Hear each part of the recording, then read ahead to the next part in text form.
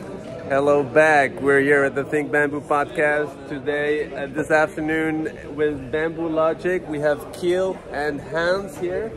You're both co-founder at uh, Bamboo Logic.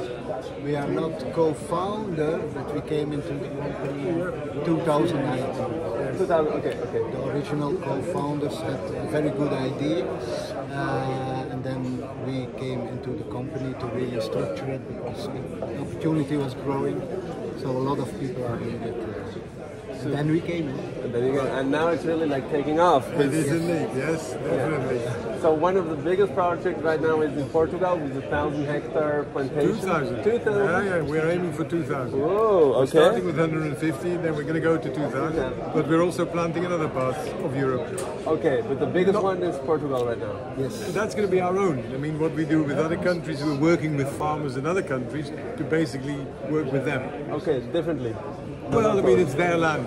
They grow the, the bamboo, we provide the plants, we work with them, and we'll take the offtake when it's ready. We do the we do the two because the only reason is we have to plant as fast as possible, as much as possible bamboo in Europe. Did, so did you hear that? We need more bamboo out there. So, uh, plant bamboo, right? Plant Indeed, bamboo. that's it. Plant Bamboo. Of course, it takes a few years, and if we want to supply the European industry, we need hundred thousands of hectares. Wow.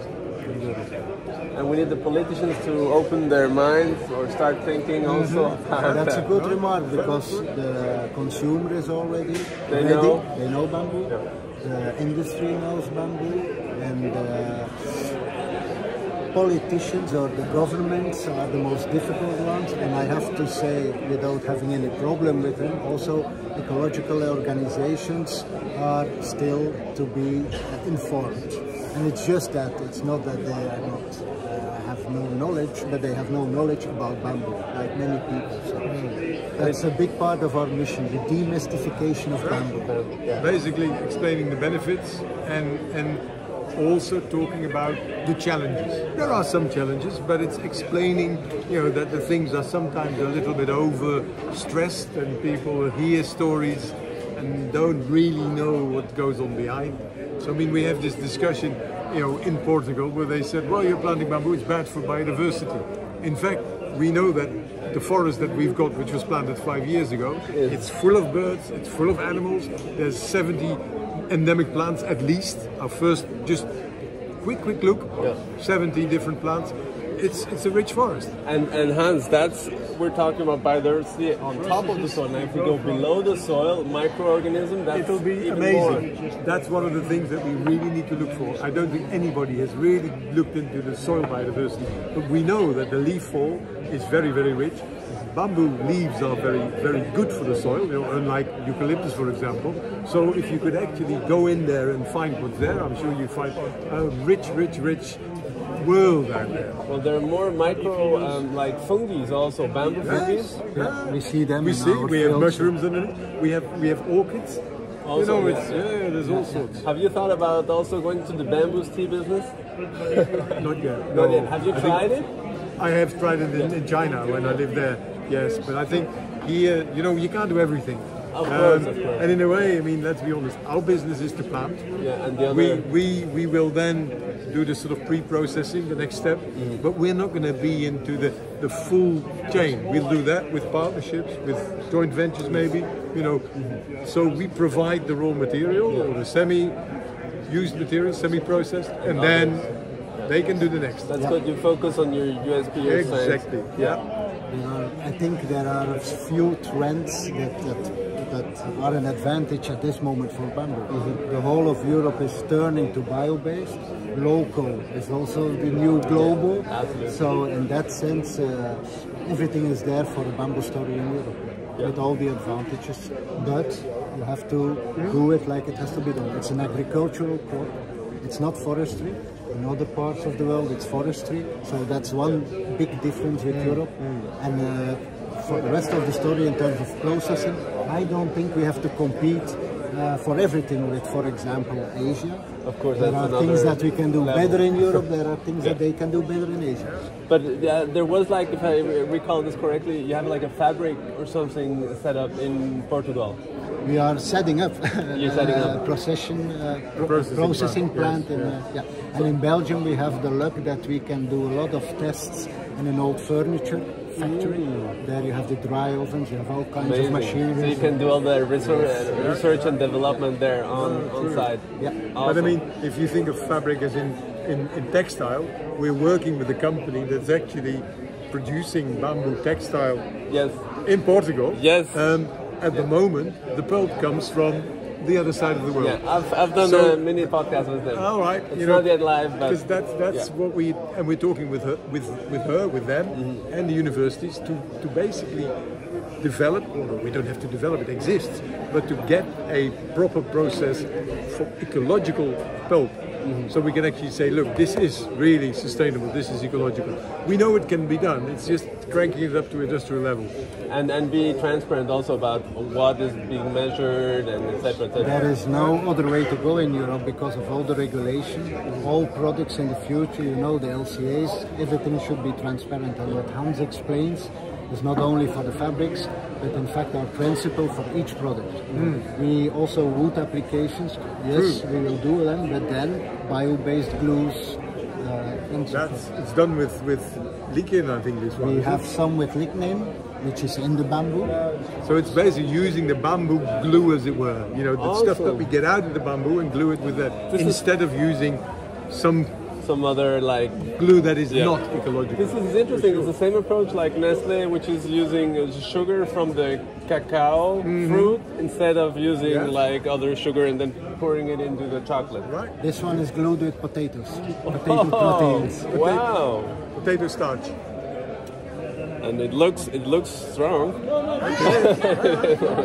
wow. Moso from Portugal, maybe. That is uh, It's our own, our own plant, our own bamboo. Wow, beautiful. Oh, and it's really it's really beautiful. I mean, I don't know if we can see it. Nice. So within that principle, bio-based, completely European, we are now designing with the ArtEZ University in the Netherlands a complete garden set. Because there you have the wood, you know, for the chairs. We use the composite, bamboo composite for the inside of the chairs, and then the textile for uh, the sheds or the, the parasols. There's gonna be a, like a full line of products then. It's one garden set, completely European, completely mm. bio-based. It's of course showcase Of course, first prototype or Yeah. It should be ready before the end of the year. awesome. But as I say, we're developing that with Art University, you know, ArtEZ, looks good which is a university. sexy, So we get all Yeah. these young, these young geeks looking at you know, what's the best way, ah, testing, coming up with new designs. Really nice. And I think that's that's the other great thing, you know, bamboo in Europe. It's it's a product of the future. So we're talking with, Absolutely. with young designers, with, with, with young architects. Sorry. Fabulous. Let's turn around. Yes, we're still there. Yeah, we're still there. We have the logo there. yeah, so this is really a thing. Bamboo is the future. We know that. We have to invest time and money because uh, there is a lot. We, know that bamboo grows in Europe. We know the industry needs bamboo, and now the workers, everything in In between. I think just one one last point because people say, well, bamboo in Europe, you know, is it really good for the environment? It's very good for, as we said earlier, biodiversity and soil conservation. I would agree, though, that I wouldn't necessarily want to plant bamboo in a nature reserve or in a, you know, protected area. It's not a European plant. We're using it as a crop. We're working with the Ministry of Agriculture. Basically, that's how it should be used in Europe. And there is a lot of degraded, not used land. If we can help to make some of that green, Exactly. rich, productive, create the jobs, and get us out of the dependence on other countries. For example. And another important point, as you know, everywhere in the world, I think, but certainly in Europe, farmers are completely in stress. They are like in the completely in the food sector. They don't get the prices they want. So we give them also an alternative to be again or play a role uh, to deliver the industry with an alternative uh, product that's rewarding. and have a future which, which is valuable. So sustainable yeah, business model.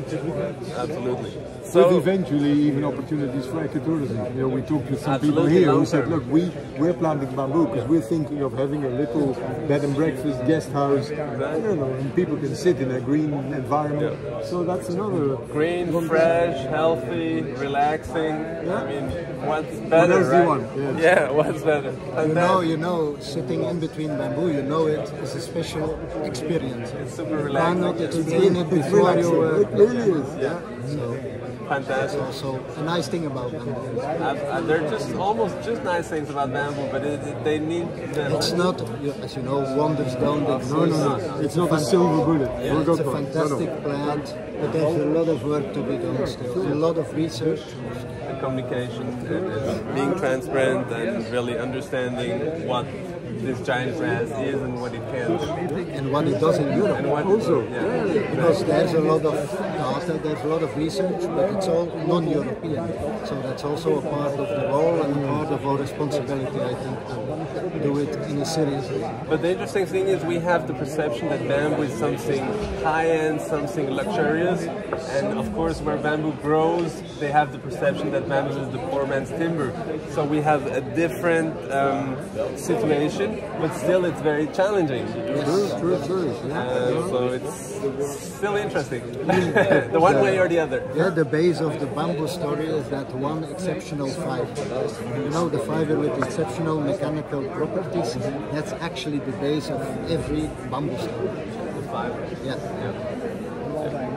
Yeah, no, and it's, I mean, and you guys have been advancing very fast, so I hope you continue. I So do we? so. So do we? Keep going. And uh, we'll be talking. Very Thank you surely, surely. Thank And you. Take care, guys. Thank you, JJ. Ciao.